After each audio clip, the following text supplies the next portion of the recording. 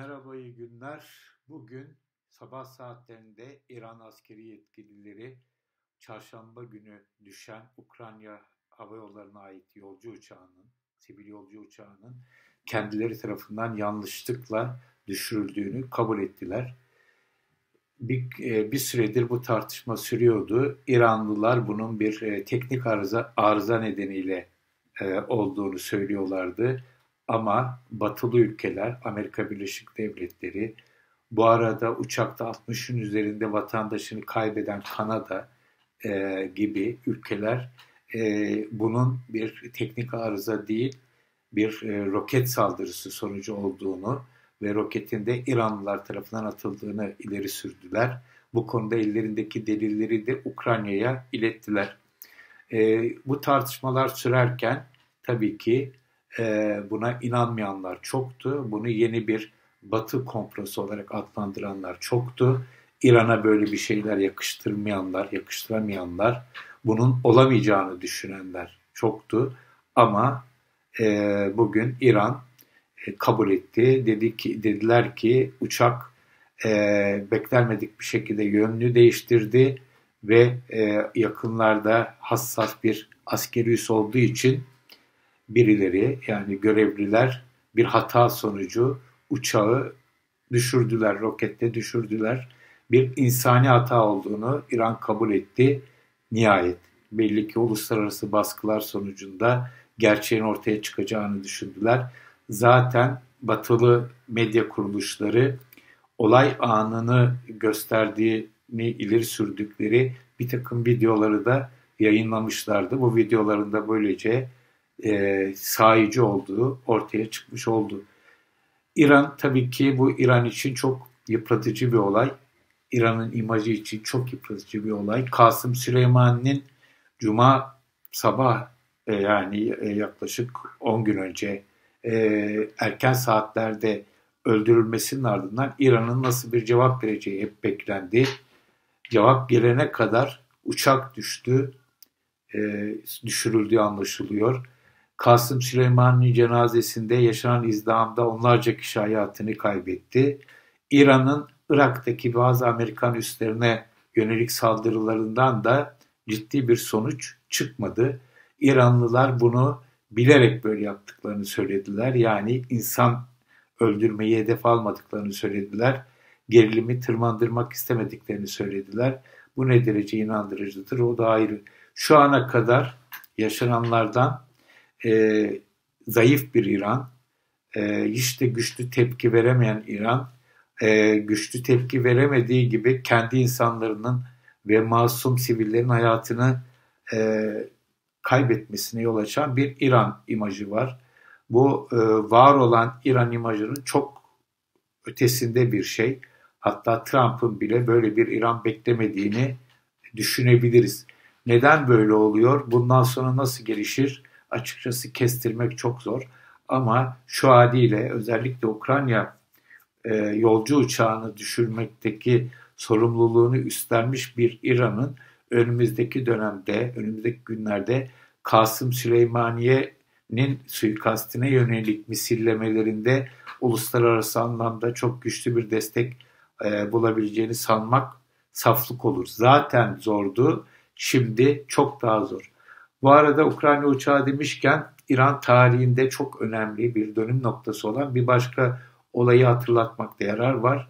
1988 yılında İran-Irak Savaşı'nın en kızıştığı tarihlerde İran'ın Irak'ı yenmekte olduğu belki de zamanlarda Temmuz ayında e, Amerika Birleşik Devletleri bir e, savaş gemisinden füze fırlatarak bir İran yolcu uçağını düşürmüştü. 200 aşkın yolcu hayatını kaybetmişti ve bunun sonrasında kimse doğru dürüst uluslararası alanda İran'a sahip çıkmadıktan sonra İran Irak'la e, masaya oturmayı kabul etmişti ve hatta o tarihte bunu yapan e, tarihinde Ağustos 20 Ağustos'ta barış ateşkes imzalanmıştı ateşkesi imzalayan Ayetullah Hümeyni bunun zehir içmekten daha acı olduğunu söylemişti ama İran mecbur kalmıştı. Tam savaşı kazanmakta olduğunu düşünürken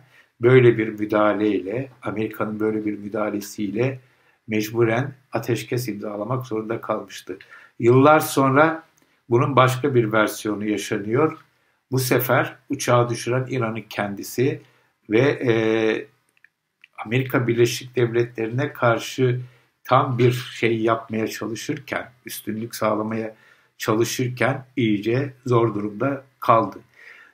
Ee, Üçüncü Dünya Savaşı çıkmasını bekleyenler vardı. Hatta bunun çıktığını ilan edenler vardı. Şu haliyle İran'ın tek başına Amerika Birleşik Devletleri'ne karşı dünyayı Üçüncü Dünya Savaşı'na sürükleyecek hamleler yapamayacağı herhalde e, bu 10 gün içerisinde ortaya çıkmıştır.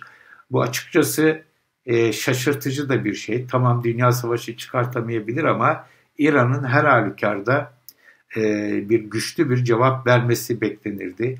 Bundan sonra verebilir mi? Açıkçası çok emin değilim. Hele bu uçak olayından sonra işi daha da zorlaşacaktır. Ama bu süre içerisinde şunu gördük. Türkiye örneğinden bakalım ama dünyanın başka yerlerinde de var.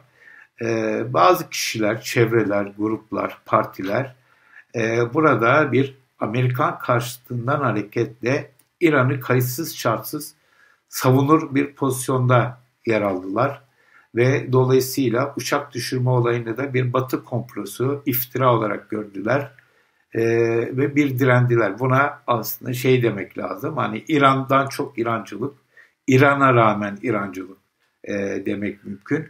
Bunun birçok nedeni var. Bunu yapanların içerisinde İran rejimine yani oradaki İslam devletine sempati besleyenler de var tabii ki ama büyük bir çoğunluk rejimle alakası yok. İran'ın stratejik anlamda aldığı pozisyonlarla alakalı. O da nedir? Bölgede İran'ın Suriye'de, Lübnan'da, Filistin'de aldığı pozisyonlar burada Amerika Birleşik Devletleri ve onun müttefiklerine karşı yani İsrail ve Körfez ülkelerine karşı e, attığı stratejik adımlar, girdiği çatışmalar, verdiği destekler ki e, bu anlamda Kasım Süleymani çok kilit bir e, rol oynuyordu. Kudüs gücü ki İran dışındaki operasyonları yürüten güç onun komutanı olarak İran'ın bölgedeki ve aynı zamanda Asya'daki Afganistan dahil örneğin e, işlerini yürüten bir kişiydi. Dolayısıyla İran'ı sevmekten çok, İran'daki rejimi sevmekten çok onun e, hareketlerini aldığı stratejik tutumları destekleyenler, e, tercih edenler, Amerikan karşıtı ya da emperyalizm karşıtı olarak görenler vardı. Bu İran devriminden bu yana olan bir şey ama İran'ın ne kadar anti-emperyalist, ne kadar İran milliyetçisi olduğu konusu çok karışıktır. Zamanla o iyice ortaya çıktığı kanısındayım. İran bu dürtülerini bir anti-emperyalizm gibi bir perspektifle değil, İran milliyetçiliği e, temelinde geliştiriyordu ve İran milliyetçiliğin önüne Amerika Birleşik Devletleri ya da eskinin Sovyetler Birliği çıktığı ölçüde de bunlarla savaşıyordu. Bu İrancıların önemli bir kısmı, e, geçmişin İrancıların önemli bir kısmının yakın bir zamanda en hızlı İran düşmanı olduğunu da e, bir parantez açıp belirtmek isterim. Özellikle İslami hareket içerisinde, Türkiye'deki İslami hareket içerisinde bir dönem en katı İran yanlıları, radikal İslamcılar zamanla e, El-Kaide, IŞİD çizgisinin etkisinde daha fazla kalarak onların özellikle Irak'ta ve Suriye'de gerçekleştirdiklerini ve gerçekleştirmeyi düşündüklerine e, destekledikleri için birdenbire İran düşmanı oldular ve ilginç bir şekilde bu kişiler İran düşmanı oldukları için de Kasım Süleymani suikastinden son derece mutlu oldular. Yani üstlerine vazife olmamasına rağmen Kasım Süleymani onların arzuladığı şeylerin gerçekleşmesine izin vermediği için özellikle Irak'ta ve Suriye'de onların desteklediği kesimlerin e, ile mücadelenin başını çektiği için bu uğurda gerekirse dünya dört bir tarafından gönüllüler toplayıp Şii gönüllüler onları eğitip silahlandırıp e, üzerlerine sürdükleri, sürdüğü için Kasım Süleymani'den e, nefret ediyorlardı ve ondan onun öldürülmesinden çok da memnun oldular. Ama tabii burada ilginç paradoksal bir durum var. Hem bunlar çok memnun oldular hem de Amerika Birleşik Devletleri'ni sevmedikleri için de e, bir garip bir e, ikilemde kaldılar. Yani hem Amerika'dan hem İran'dan nefret edip e, pozisyon alabildiklerini sanıyorlar. Böyle bir e, garip bir durumdalar. Bunlara aslında ABD'den çok Amerikancı denebilir. Bunu, e, bu kişiler sevmedikleri, nefret ettikleri Amerika Birleşik Devletleri'ne işine geldiği zaman, işlerine gelen hareketler yaptığı zaman e, alkışlama durumundalar. Tabii bu alkışların yüksek sesle yapmıyorlar. Böyle bir riyakar bir durumla karşı karşıyayız. İki güç diyelim ki savaşıyor. bu iki güç savaşırken birbirlerine zarar veriyor. Ama zarar sadece birbirlerine verdikleriyle kalmıyor aslında. Onların e, zarar gördüğü ortamda bölge halkları çok ciddi bir şekilde ağır bir fatura ödüyorlar. Ama bir tarafta savaşan birisinden nefret ettiği için düşmanımın düşmanı perspektifiyle diğer tarafın yaptıklarından memnun kalan insanlar var. Ve bu insanlar maalesef e, dünyanın dört bir tarafında ama konumuz Türkiye olduğu için Türkiye'de tartışmaları bir ölçüde işgal ediyorlar. Olayların sağlıklı bir şekilde tartışılmasının önüne geçici bir takım hızlı cevaplar, alelacele verilmiş cevaplar, hızlı, basit ama gönül çelici e, cevaplar e, veriyorlar. Hızlı komplo teorileri üretiyorlar. Komplo teorileri demişken hala etkili olan bir teori. İlk günden hangi kaynağa neye dayanarak ileri sürüldüğünü anlayamadığım bu Kasım Süleyman'ın öldürülmesinin aslında İran rejiminin de istediği ve ABD ile İran arasında danışıklı dövüş olduğu iddiası, teorisi var ki bunun Türkiye'de çok yaygın olması e, aslında şaşırtıcı değil. Şunlar şaşırtıcı değil. Türkiye'de bir e, bir yandan Amerikan karşıtlığı, anti-Amerikanizm, bir yandan İran karşıtlığı, İran nefreti ayrı ayrı kanallardan çok ciddi bir şekilde yıllardır e, besleniyor. Kimi durumda bu iki karşıtlığı aynı anda e, bünyesinde barındıran, aynı anda sahiplenen kişi ve odaklar da var. Dolayısıyla bu kişi ve odaklara göre ABD ile İran arasında bir savaş olamaz. Zaten bunlar e, bir madalyonun iki yüzü şeklinde dünyayı anlamamızı gerçekten imkansızlaştıran ama garip bir şekilde de çok da fazla e, insanın aklını çelebilecek yaklaşımlara sahipler. Bunun bir diğer versiyonu tabii ki biliyorsunuz o zaten artık bir yerleşti. Ee, El-Kaide, IŞİD gibi yapıların da aslında ABD, İsrail gibi güçler tarafından çıkartıldığı, aslında her şeyin yalan, yalan olduğu yolunda. Bunların hepsine uzaklaşıp aslında olup bitenlerin çok da karmaşık olmadığını, daha basit, ilk akla gelenin pekala doğru olabildiğini kabul ettiğimiz zaman olayları daha iyi anlayabilme imkanımız olduğu kanısındayım. Yani İran ve Amerika Birleşik Devletleri farklı çıkarlara sahip oldukları için, farklı müttefikleri olduğu için birbirleriyle yıllardır düşmanlar. Bu düşmanlık zaman zaman değişik boyutlarda kimi zaman grafik yükseliyor, kimi zaman grafik iniyor. Ee, mesela Obama döneminde nükleer anlaşma sürecinde e, bayağı bir yumuşama vardı. Ama Trump'la beraber yumuşama tekrar yerini sertliğe bıraktı şeklinde okumaların daha işe yarar olduğu kanısındayım. Aksi takdirde e, tek tek olaylar üzerinden yapılan değerlendirmeler ve buralardan hareketle e, takınılan pozisyonlar, tutulan taraflar bizim hiçbir şey anlamamıza izin vermiyor. İzin vermediği gibi aynı zamanda Türkiye'nin bütün bu hengamede, bütün bu kaotik ortamda serin kanlı bir şekilde kendi siyasetini geliştirmesine de çok fazla izin vermiyor. Şunu özellikle vurgulamakta yarar var.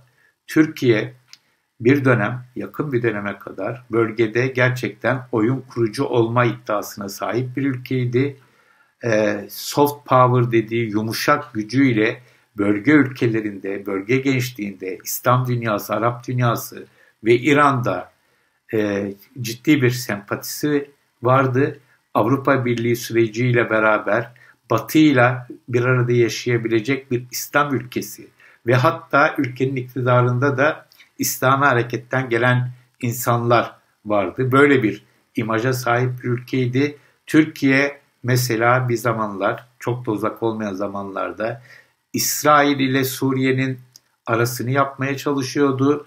İran'ın tekrar uluslararası topluluğa dahil edilmesi ve dışlanmışlığını sona erdirilmesi konusunda çabalar sarf ediyordu ve bu noktada Brezilya gibi ta uzaktaki bir ülkeyle birlikte hareket edebiliyordu. Böyle bir ülkeden şimdi tamamen yalnızlaşmış ve hiçbir değeri olmayan bir yalnızlığa e, kendini mahkum etmiş bir ülkeye dönüştük.